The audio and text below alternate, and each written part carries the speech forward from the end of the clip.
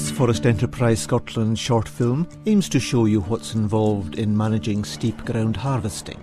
We're using information gathered during our trials in Lochaber and Inverness, Ross and Skye forest districts in 2012 and 2013. The Steep Ground Harvesting Project has identified the best equipment and methods to harvest timber. Over 7% of Forestry Commission Scotland's timber volume is on these steep slopes. That's 260,000 tonnes per year. My name is Calum Duffy uh, from Duffy Skylining. We're here working for the Forestry Commission on the steep ground working site in South Laggan.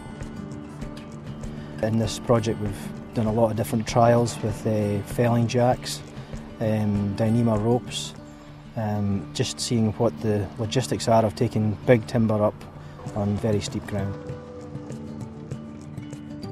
I work with a six man team. Uh, the layout of that team is there's one man in the harvester, one man in the forwarder, a winchman, a feller, and two chokermen at all times. Skylining is a system that uh, takes trees off extremely steep hills, hills that are inaccessible by machinery, so they has to be felled by hand, and then a series of cables are set up and uh, the cable system, a carriage runs on this system which drops chains down to men who hook the trees on and then the, back into the carriage and the trees return down to a landing area where they're then processed for uplift by lorries.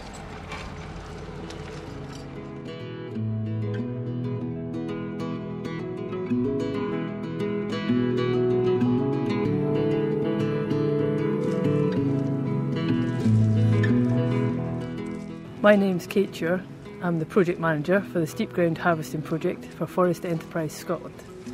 This site is one of our trial sites for the Steep Ground Trial, and this is Clunes Forest in Lochaber.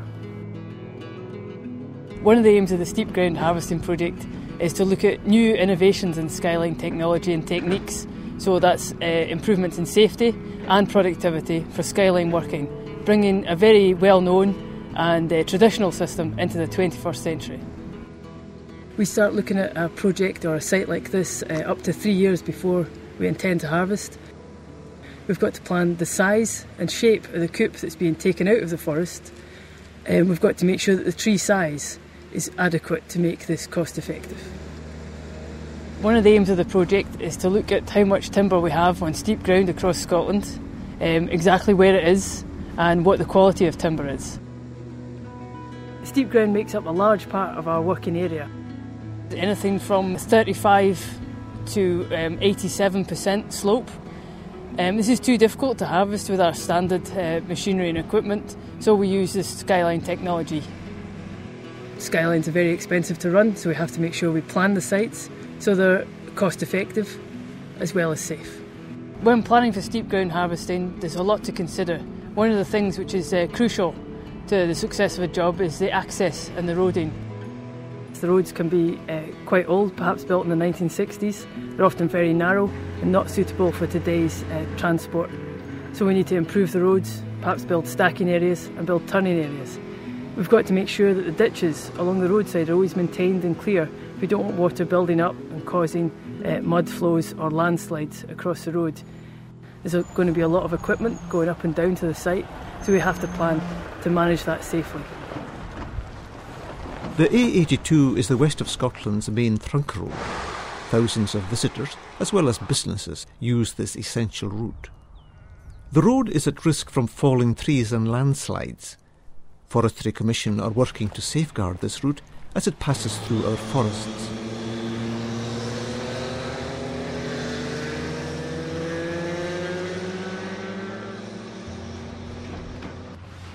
High volume of brash residue is recovered when whole trees are extracted to roadside, on average 150 tonnes per hectare. These sites have limited space for stacking and turning machines. Brash is double handled by the forwarder. If we don't keep the brash moving off site, we'll run out of space for the timber.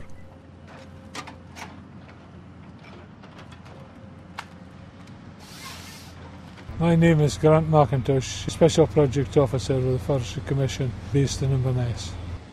Beforehand, brash was a real problem uh, especially in these sites where there are limited areas for stacking.